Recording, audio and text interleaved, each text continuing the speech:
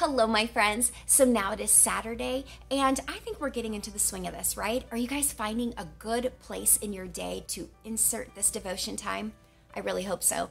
And if you haven't found it yet, no problem. We have several more days to get it all sorted out.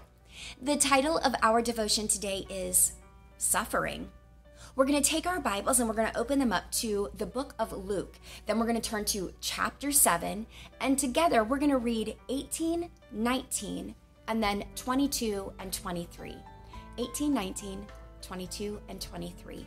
So go ahead, press pause, get yourselves all set up in Luke 7, and when you're ready, you press play again, okay? I'll wait patiently. Are you guys all set? I am too. So Luke 7 18, 19, 22, and 23 says this John, calling two of his disciples to him, sent them to the Lord, saying, Are you the one who is to come, or shall we look for another? And he answered them, Go and tell John what you have seen and heard. The blind receive sight, the lame walk, lepers are cleansed, and the deaf hear.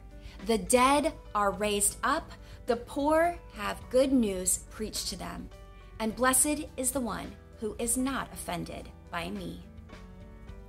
There was John, shut up in prison, soon to be killed. He hears what Jesus is doing healing the blind and the lame and the lepers, raising the dead, preaching to the poor. John recognizes that Jesus is fulfilling many of the prophecies Isaiah spoke about and said that the Messiah would do. But what about Isaiah 61 1? Hmm. Will Jesus also proclaim liberty to the captives and the opening of the prison to those who are bound? Will Jesus set John free from prison? Why is he waiting so long? Jesus' heart goes out to John. He knows what John is suffering and how hard it is for John's faith. But he also knows that John's suffering is a preview of Jesus' own. Both John and Jesus are arrested, suffer, and ultimately die. It is not part of God's plan to rescue either of them in this world. God has bigger plans. God intends to use Jesus' suffering to redeem not just Israel, but all the people in the entire world, past, present, future. That is his bigger plan. God the Father will not rescue Jesus from death. He won't. Instead, he will resurrect him and share that everlasting life with everyone who trusts in Jesus. And now, what of our own suffering? That too we trust to the Father. He knows, He cares. We can trust Him to do what's best, even when we can't figure out what that might be. Let's pray.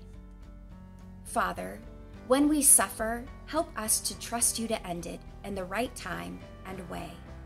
In your name we pray, the mighty name of Jesus. Amen. Amen.